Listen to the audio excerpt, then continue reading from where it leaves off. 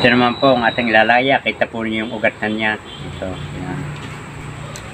Kung kayo po ay magpapaugat, magmamarkot, maganda po yung gamitin ito po.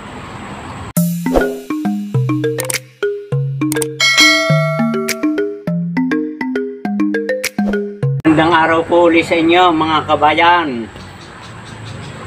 Ang inyong kabayang mani po ulit ito at welcome po kayo sa aking channel. Unang-una ako po nagpapasalamat sa mga tao na sumusuporta sa aking pagtatanim at pagtuturo ng mga halaman sa pagmamaraan ng marketing. So ito po naman po ngayon, ang ating namang gagawin ay ito pong pag yung pagtatanim at pagmamarkot nitong ano pomegranate. So ito po, kita na po ninyo may mga ugat pa. Ikaw lang po nakita ng aking pinutol kanina, hindi ko na video. Ito po, may ugat na. So ito po ay may bunga na. Yan, atin na pong itatanim para po dire-diretso ng kanyang pagbunga. Ngayon ding taong ito, basta hindi na buhay. Ito po. Hindi na po tayo dadampas sa seed na napakatagal. Ito po. Yan. At pong itatanim. Yan. So, ate pong lalagyan ng kokopit yung kanyang palibot para po lagi siyang moisture o basa-basa para ngayong tag-araw, hindi siya ganong naiga at hindi siya natutuyo. Yan, ito po. Atin po namang lalagyan na ng lupa.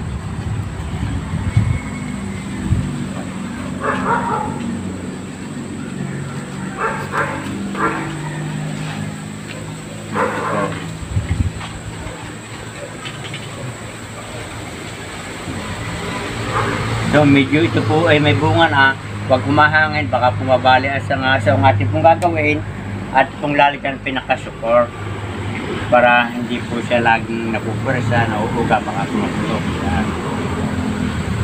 Hindi yan, atin po siyang tatali dito.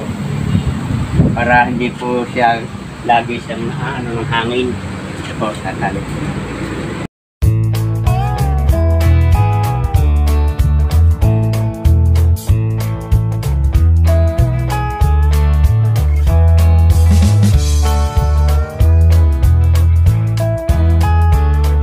Dito po ikuan, diretsyo na ang paglaki hanggang sa mahinog itong kanyang bunga. At ito naman po yung isa. Ay atin po munang hukayan na rin paglalagyan.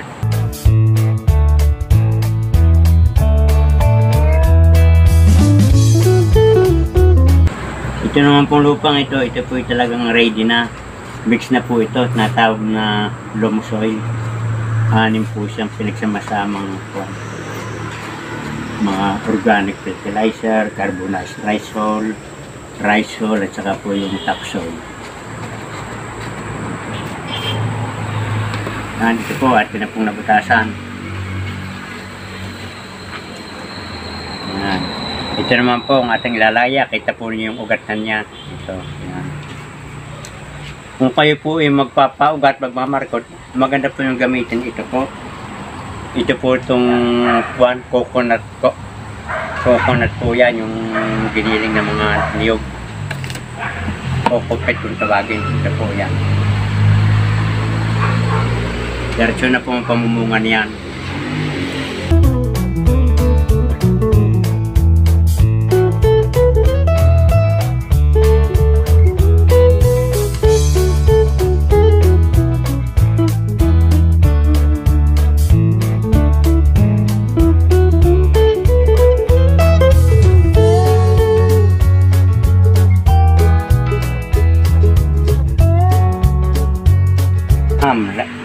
Kabayan, lalagyan po natin ng kokopet para po siya ay laging madaling tumubo yung kanyang ugat lumago. Yan. Yan, ito naman po, kita na nyo, yung kanyang mga ugat, oh. Yan. Lalagay na po natin.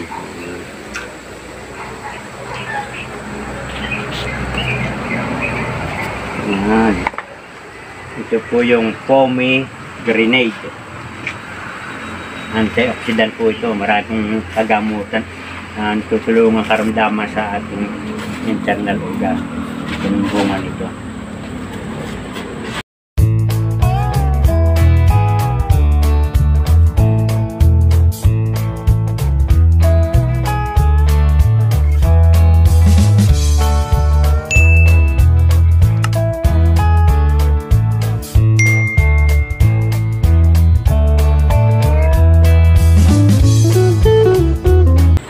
Ito naman po ang ating pinaka last didiligan.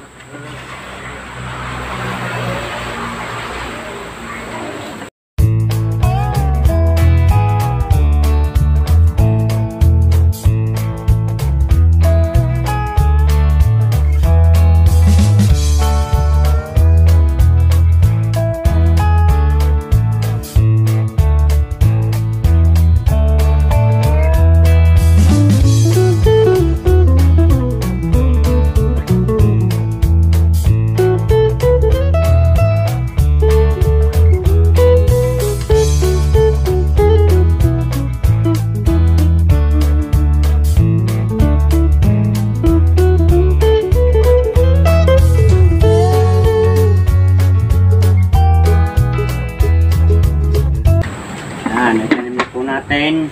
At ito pong ilalagay naman sa kanlong.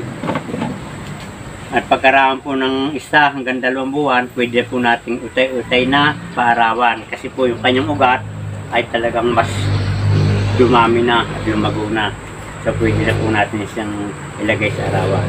Yan, hanggang dito lang po mga kabayan. At sana po kayo ay na, may natutunan uli at nakatulong sa inyong paghahalaman kung sakaling kayo magbabalak na maghalaman o magpaugat ng anumang uri ng ating mga prutas. So hanggang dito na lang po uli at yun, paki-click na lang po ng subscribe button at bell button. Maraming salamat.